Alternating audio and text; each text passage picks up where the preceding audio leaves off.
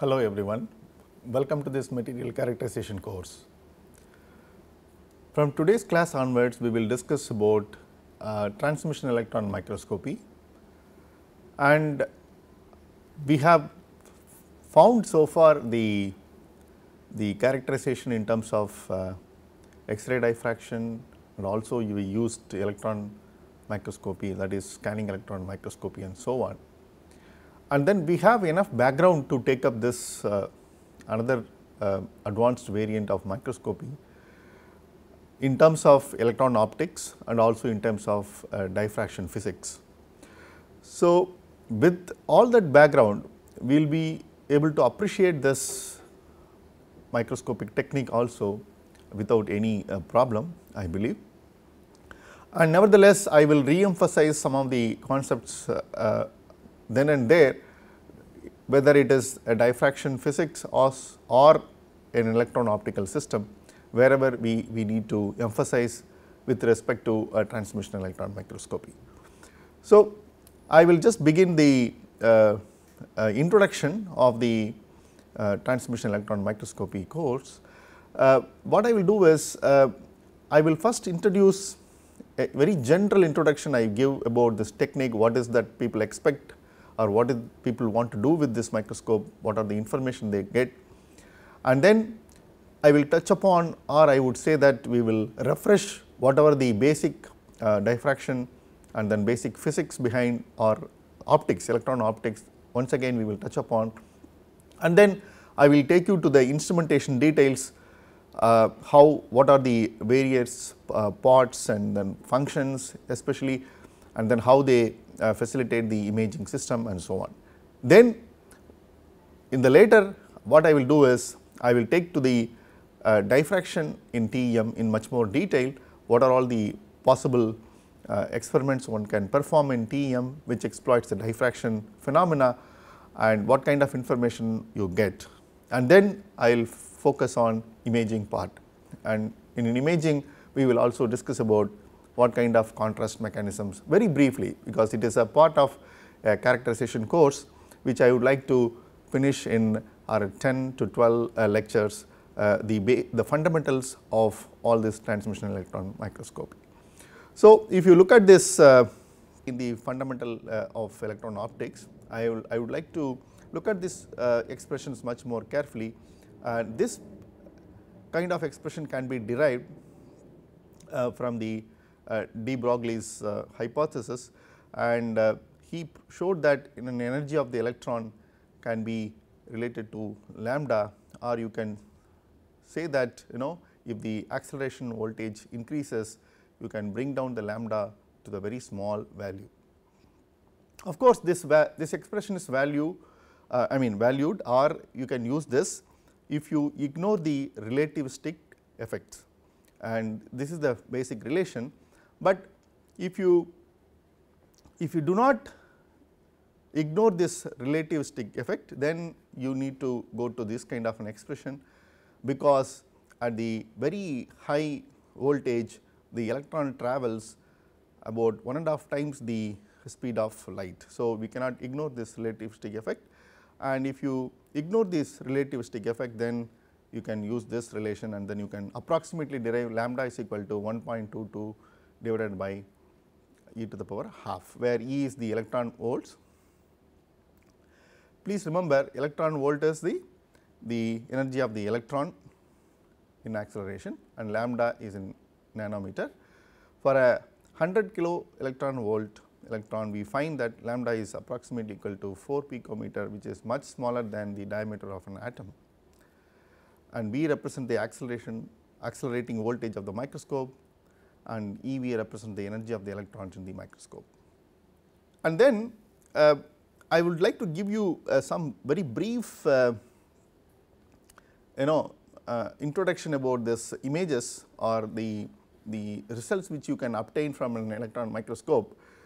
Uh, normally uh, what we are interested is, is in a, a microstructure, microstructure containing features in terms of you know if it is a metallurgical sample people are interested in defects and uh, if it is uh, you know physics and then you are interested in uh, defect density and atomic positions and so on.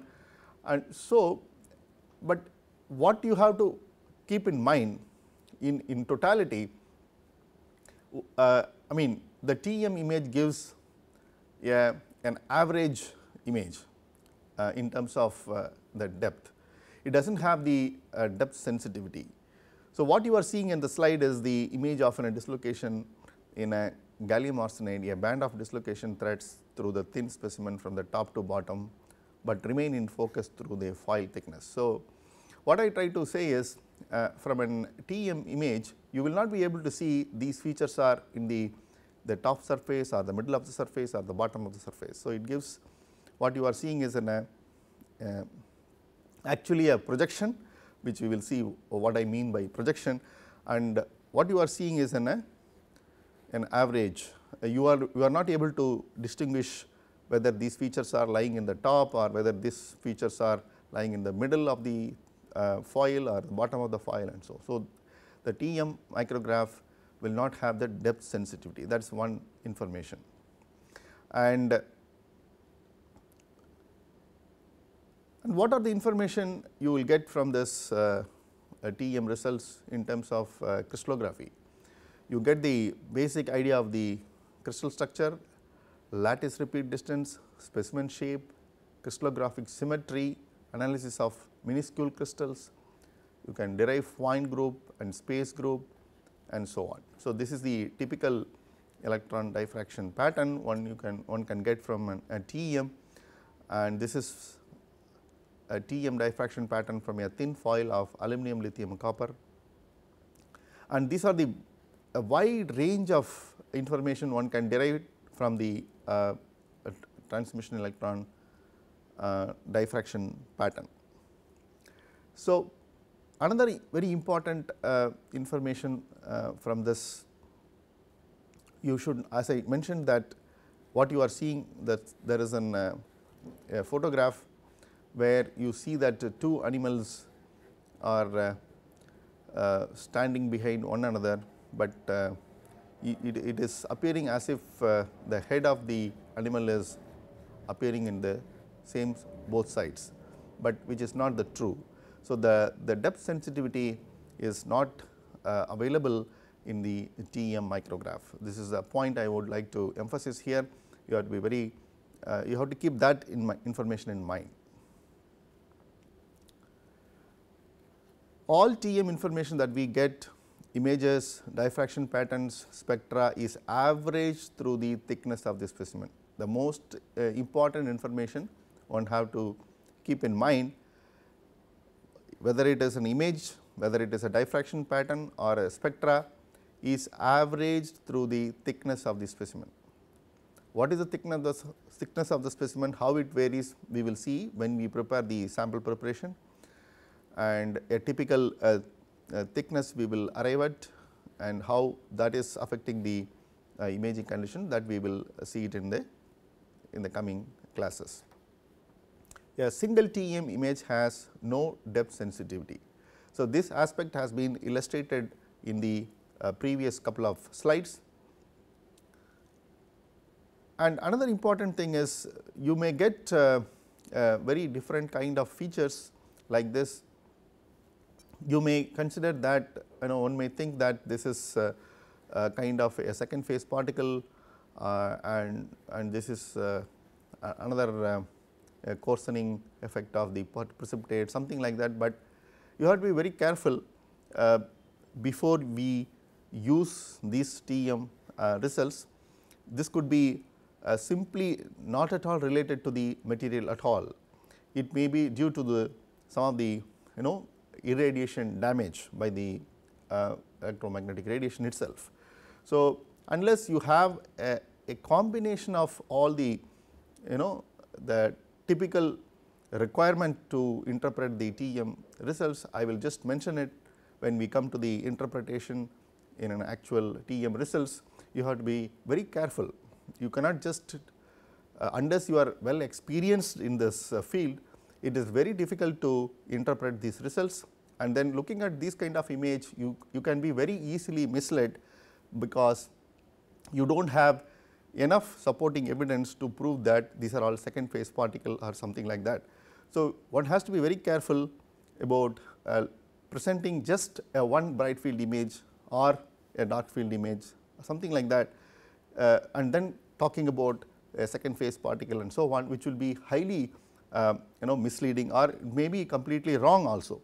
So, you need to have appropriate uh, results in combinations of uh, crystallography data through diffraction and we have to prove the second phase particle through the uh, a simple uh, dark field imaging and then you have to correlate with that uh, bright field imaging and so on. So, the what I am talking about all these are different different techniques which I will be explaining it in due course of time. So, what I the, information I want to derive from this slide is you have to be very careful about uh, talking about the, the features in a in a TEM micrograph just putting at the one slide. You have to have additional information to talk about the features of what you are seeing in the micrograph. Now, the the depth of focus in electron microscope is very high which we have already seen it. I will play a small animation. What you have to look at it is this is the simple lens and then you see that uh, in alpha and beta are the angle correspond to the object side and an image side and this crossover is uh, projected here and you can simply uh, simple geometry you can derive that alpha image is equal to tan alpha image if you incorporate I mean if you consider this triangle. And this distance is uh, d objective and this distance is uh, a small d objective. And if you see this is in a beta objective. And for example, then if you consider this geometry triangle then you can derive an expression like this for an alpha image. Similarly, you can do the beta this is distance b d image and this is an alpha image angle and this is the small d image then you can write considering this triangle beta objective which is approximately equal to tan beta objective is equal to d objective by 2 that is this distance half distance divided by d objective by 2 this is this distance this half distance. You can write alpha image by alpha and also alpha sorry alpha image as well as a beta objective angles. So, what we do with this we can use this relation to calculate the angular magnification in the microscope. That is m a which is equal to alpha image divided by beta objective. This is angular magnification and then we can also calculate the transverse magnification which is m t is equal to d image by small d objective and which is nothing but m t is equal to 1 by m a that is inverse of angular magnification is your transverse magnification. These are small uh, relationship. So, you should uh, appreciate this you have enough background to appreciate this now. And we also know that the depth of focus d image is equal to d objective by beta objective times m t square. And the depth of field is d objective is small d objective divided by beta objective. So, this is the the the relation between the depth of field and depth of focus with respect to that ray diagram what we have seen. So, you have this uh, background to appreciate this we have already discussed enough what is depth of focus and depth of field it is just to uh, give you a recap. And now, I will just show you a schematic where you see that uh, in the electron optical systems they are mostly characterized by small aperture angles leads to a decisive advantage where the image focus is concerned. So, you can see that the, the rays which are converging here and then converging there that is above and below the objective you have a, a finite distance where the image can be sharply focused that is in general this schematics in general uh, displays the, the uh, very small aperture angle effect and then the, the concerned uh, depth of focus where alpha is the aperture angle and df that is this is df is the most effective electron beam spot size.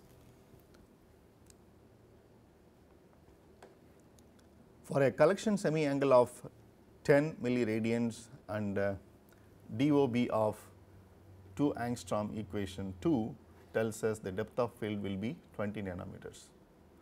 So, the D objective small d objective of 2 angstrom if you substitute that into the equation 2 what we have seen you will get about 20 nanometers. This means a specimen of this thickness can all be in focus at the same time if you want to see a detail at the 2 angstrom level, we need to use a magnification of about 50,000 x. Equation 1 tells us that under these conditions the depth of focus will be about 5 kilometers. If we only need to see 2 nanometers, we can use a magnification of 50,000 x and still the depth of focus is 5 meters. So, all this uh, uh, ray diagram and the small small mathematical expressions illustrates a point that the depth of focus in an electron microscope is very very high. And then you will see that uh, the this aspect has been exploited in the uh, in a transmission electron microscope uh, hardware itself where you though you will see that uh, image formation is occurring in the uh, fluorescent screen in the on the table, but your recording system will be much much uh, below where you, you may have a, a, a, plate camera or a film camera or it is a CCD which is much below, but still whatever you are focusing that image on a fluorescent screen will be nicely recorded in a, CCD camera of the same focus. So, that is one uh, evidence that the electron microscopes have significant uh, depth so, few more remarks on the uh, depth of focus. The depth of focus is related to the depth of field through the magnification m, where capital D is equal to d m square by alpha. Compared to the object plane, the extra factor of m square for the depth of focus arises because the image is larger by a factor m. So, the ray intersections defining the image plane move m times more rapidly than those on the object plane. Rays of different angles that converge at the same point on the image have mutual angles m times smaller than what they left the object plane. So, now we will try to demonstrate whatever we have just read through in, with through a schematic. You just observe that this is a, a glass lens and then this is an object for example, a solid line d 1 and then see that uh, there is a small correction it has to be you know that the, these two lines supposed to intersect and then diverge and it is drawn as a parallel line it is not true it, it has to be an intersection. But I will you assume that it is intersecting and then diverging like this and then diverging in this direction like this so, you see that uh, suppose if you assume that uh, the uh, solid red arrow is an original object and it is being imaged. And what you are seeing here is suppose if you see that you know the the the distance d2 is the it is a limit of the blurring image because the you know which which when you use this when you move this d1 slightly to the the distance d1 um, with the dotted line then these two rays will tr trace like this. You can follow this. Suppose if you assume that yes this is my solid line original object. If I move that into slightly a position d1 then the the divergence happens and then the green ray will trace like this. Because of that the distance d2 the blurring will uh, occur. And your D1 is because of the mispositioning of the uh, your uh, the image plane where you have one here and one here intersection. So, it is a misposition of the image plane. So, that causes a D2.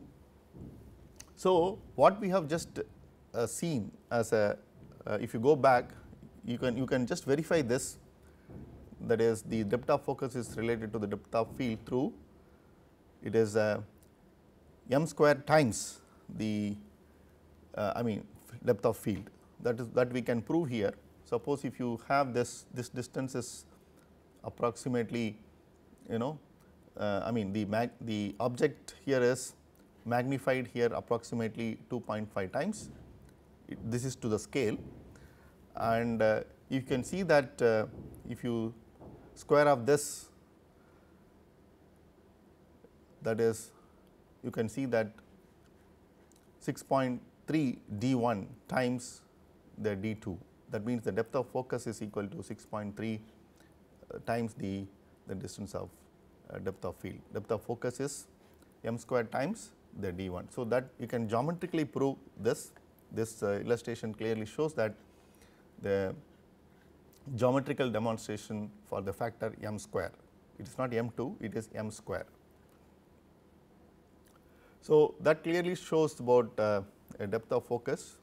Now, we will quickly review the uh, resolution of the electron lens. Uh, we have already seen this in a fundamental of electron optical system uh, and just to recap you would like to go through this the resolution is defined as minimum resolvable distance and then if you consider the theoretical resolution if there is no aberration at all the resolution of any lens that is glass or electromagnetic is customarily defined in terms of Rayleigh criterion which is also a practical definition.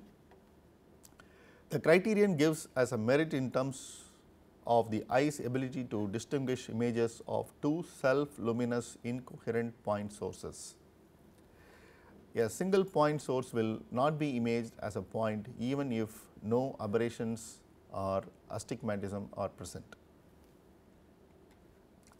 I will play this uh, animation for these two self luminous point sources which are trying to converge and then these two point sources will be recognized as a independent source only with the, the distance of 0.61 times the lambda that we have already seen it. So, you just recall that uh, the earlier discussion.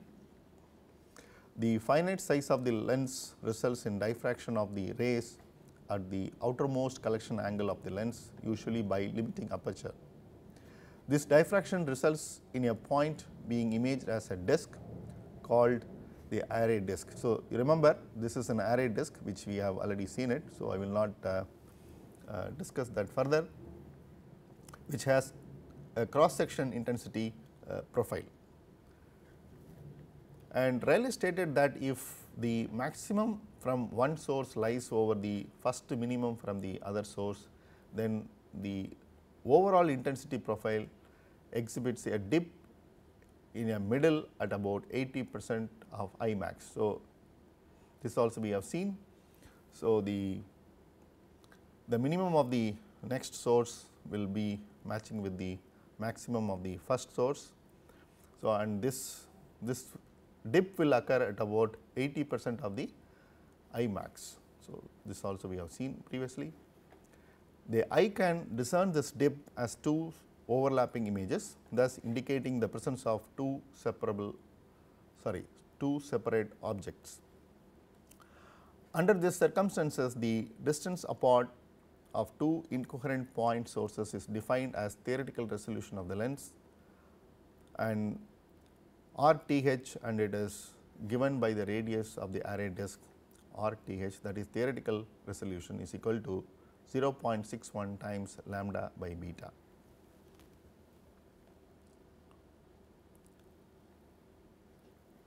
And we have also seen about the spherical aberration, where Cs is the a constant for a particular lens called spherical aberration constant and B is the semi angle of collection in the objective lens. The resolution of the object is given by some combination of Rayleigh criterion and aberration error. So, we will now look at the some treatment by Hawkes gives a particularly a clear description of how this combination leads to a value for a resolution in a microscope. So, suppose if you include the spherical aberration coefficient how it is going to be. So, this is a Hawkes treatment.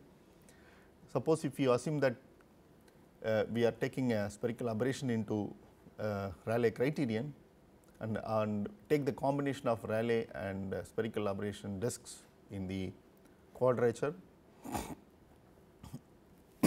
RTH is equal to R, RTH square plus R spherical aberration because of spherical aberration R due to spherical aberration is called RSPH square to the power half. We can now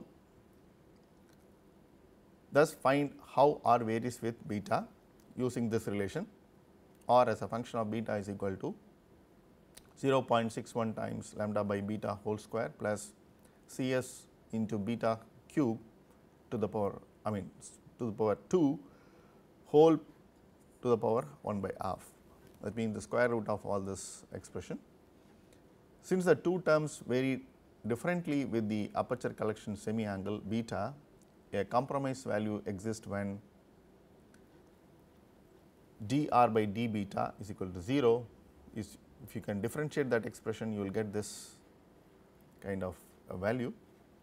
From this equation the optimum value of beta can be obtained like this B opt is equal to 0.77 times lambda to the power 1 by half divided by C s to the power 1 by half. So, so this is uh, called a spherical aberration limited resolution and for a 100 kV electrons a lambda is 0.0037 nanometers for an instrument with a CS is equal to 3 mm gives a beta opt value of 4.5 milliradians. So, you have R minimum is equal to 0.91 times Cs lambda to the power cube whole to the power 1 by 4. This expression that gives the practical resolution of the microscope typically the value for the R minimum is 0.25 to 0.3 nanometers but for high resolution instruments have the R minimum which is approximately equal to 0.15 nanometers. So, what we have now uh, trying to say is uh, we have already stated that spherical aberration is very important uh, uh aberration which is very difficult to eliminate from the uh, lens. So, if you keep that spherical aberration into uh, a system and then how the resolution is getting modified that is the bottom line and these are all the small uh, uh, I mean steps or derivations which demonstrates to you what is the uh, how the resolution expression get modified as well as the how the the beta uh, angle getting optimized. So, it's that is a basic information nothing to get confused here. So, now we will again go back to uh, some of the basics look at this uh, animation, what you are seeing is uh,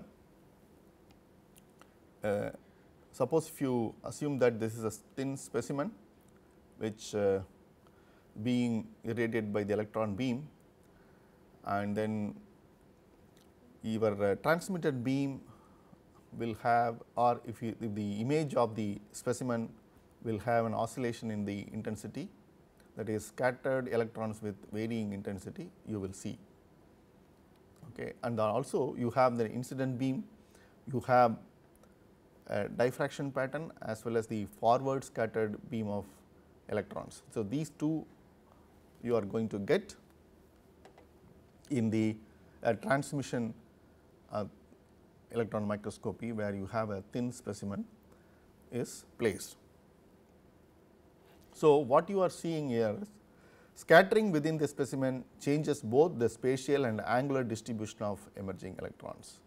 So, that is the idea you have to appreciate this the, the scattering within this thin specimen changes both spatial angular distribution of emerging electrons. So, that is it and you can see other schematic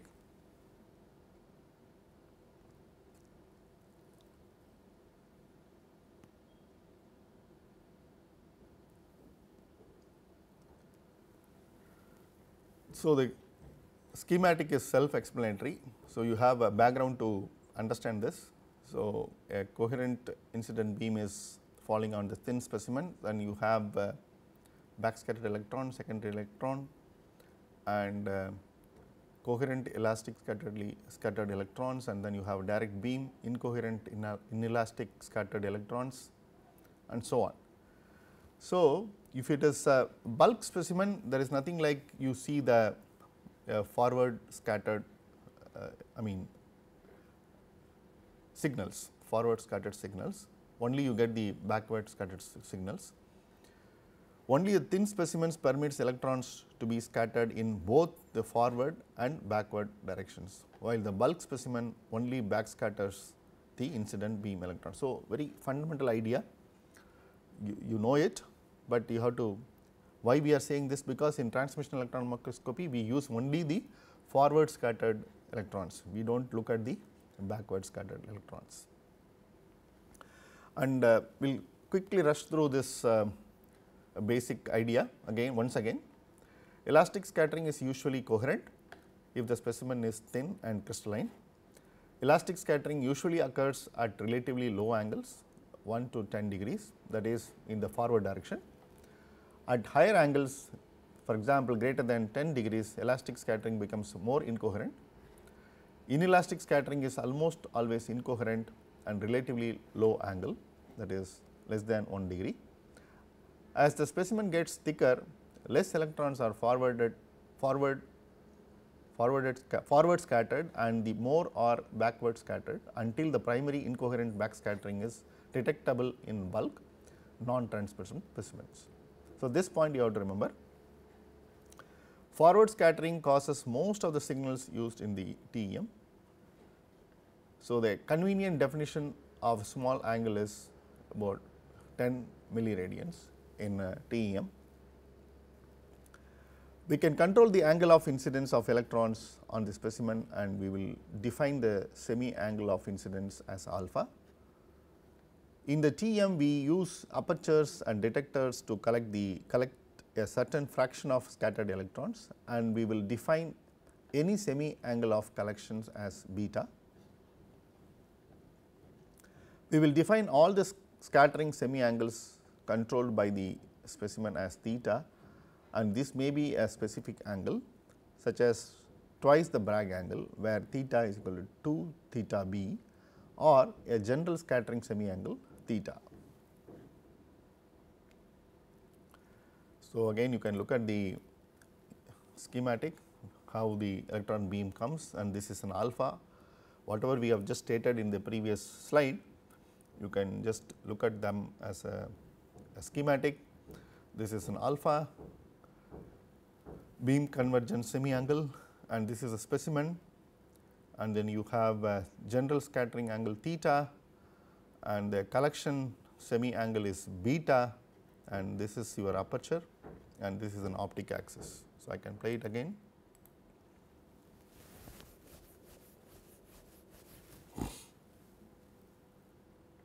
So, that takes care of uh, all the definitions in a TEM and uh, these are all the uh, typical diffraction pattern one one get in a TEM and you should know as a beginner uh, what is the difference between all four of them.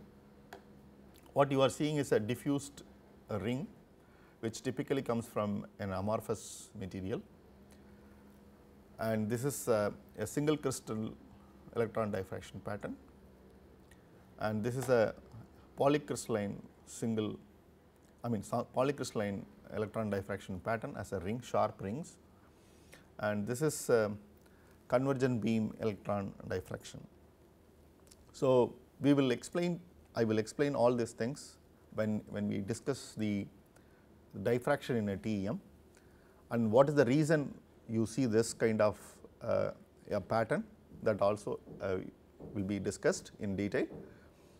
And I am just trying to give you an introduction introductory um, feel that what kind of uh, diffraction you will be able to uh, get from these transmission electron microscopy. So, you have uh, these four typical types of electron diffraction is possible and then they are all very powerful um, I mean information it, it gives you can derive little more uh, significant uh, uh, microstructural aspects from this diffraction pattern.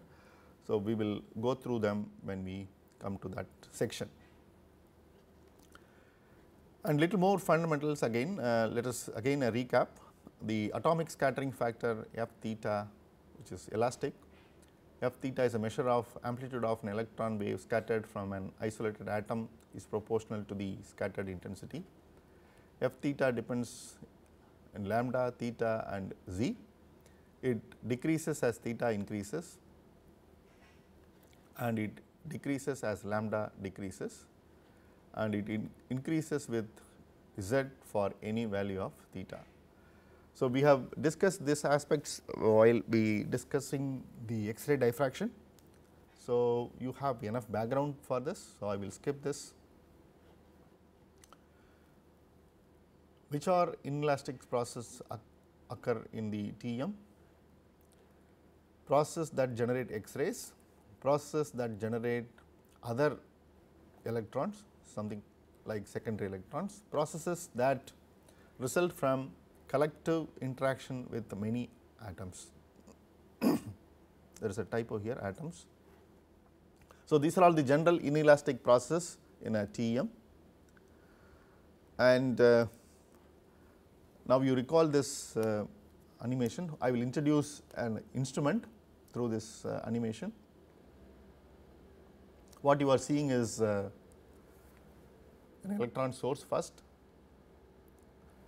where you have the high voltage applied and then you have an anode, there is an aperture, this is a condenser lens and then you have a specimen, you have an objective lens and follows by an aperture, intermediate lenses, projector lenses and then final